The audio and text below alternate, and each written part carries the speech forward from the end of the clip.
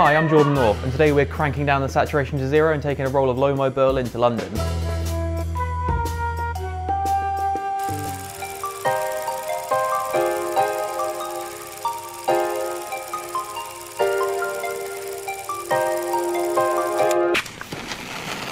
So before we start, you might have noticed something a little different.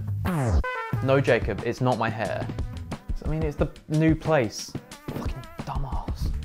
But yeah, we got a new place, and because of the housing market in the UK at the moment, we only found out we got the place a week before we moved in. Hence the fairly sporadic uploads the past month or two. But I promise I'm back to uploading regularly from today. Anyway, now with that location-shaped elephant out of the way, let's jump straight into it. I'd already planned a trip to go see my friend Brian's uncle's band. A bit obscure, I know, but as a good little Brit, I'll take any excuse to go get drunk with strangers. And look, there's a reason this country's economy is 90% pubs, 8% kebab vans, and 2% other. As Brian was busy at work in the day, I decided to make the most out of my overpriced train ticket and take some shots around the big city. I decided to take the Canon AE1 rather than the behemoth Pentax 6.7 this time as it's a lot more stealthy. And as you can probably tell from the intro, I kind of wanted an excuse to use Lomo's Berlin stock anyway. Which from what I'd seen from buying it in a fit of late night madness months before, was essentially made for urban cityscape shots, which seemed perfect for this trip. Setup wise, I just whacked the roll of film in and used a GoPro cold shoe mount to jankly fit the Insta360 on top of the camera. Check out the last video up there or in the description if you haven't seen about that camera already.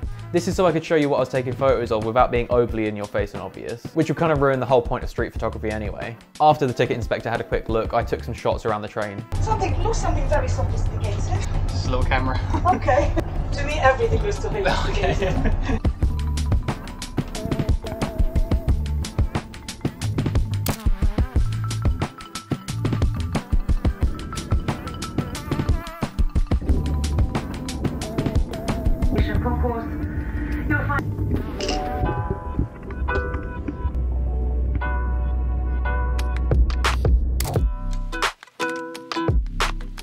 Once I got to London, I started my awkward solo street photography trip by taking some shots on the way to the first main location.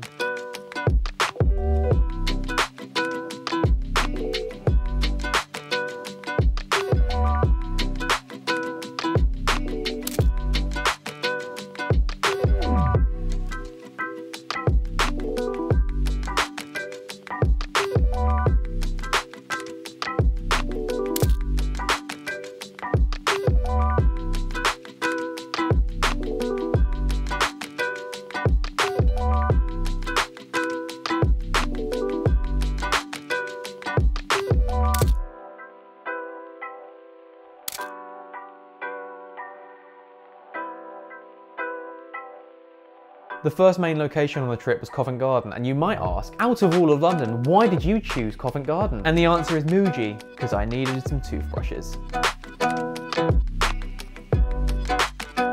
After my essential shop, I carried on.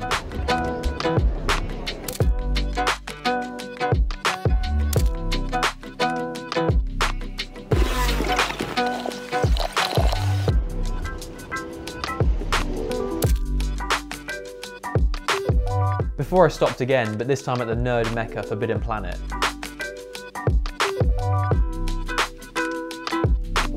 After grabbing some small bits for the wifey, I moved on to the next one. Where I realised I'd already taken this exact same picture out on a separate trip with Tina on the Pentax. So I thought it'd just be good to show the difference, even if it's not exactly a fair comparison between the two.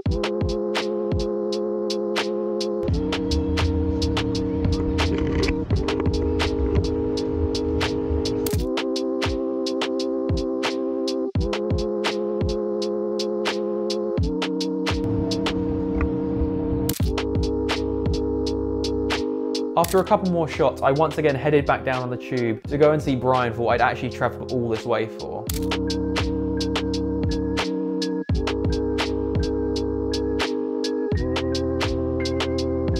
And after going to Brian's mum's house and explaining that it's black and white film, I of course had to take a shot of their bright matching green outfits. Uh,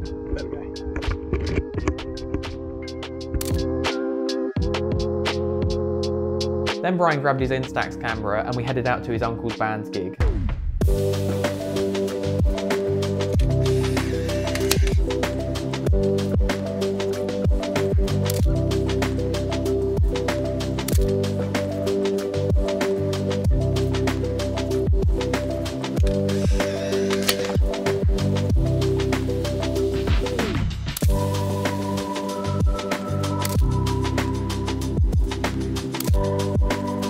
As you can see, as the night went on and I was fed drinks by his family, the pictures got more artistic.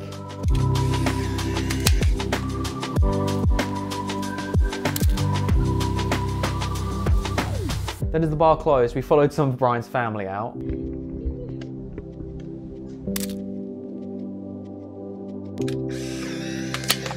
Had an extreme shopping trolley race.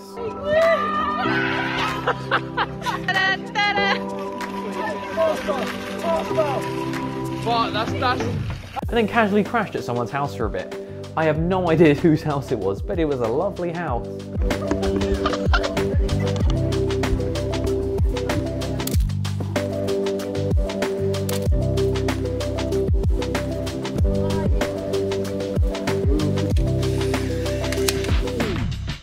You might be saying something like, well, even if you were there till 4am, Jordan, at least you had a good weekend. Well, I was having a good weekend until I remembered we had to get up and leave by 9am for the hour and a half drive back to my place. Our only saving grace? Godly Tim's, which saved our souls from a hellish hangover. Tim's, Tim's, Tim's, Tim's, Tim's, Tim's, Tim's, Tim's, Tim's, Tim's, Tim's, Timmy, Timmy, in my t- Uh, what? I don't know why I was gonna go with that one. And then to round off the trip, still slightly hungover, I built a whole frog-themed PC for Brian. We had planned this beforehand. It wasn't just out of the blue, by the way.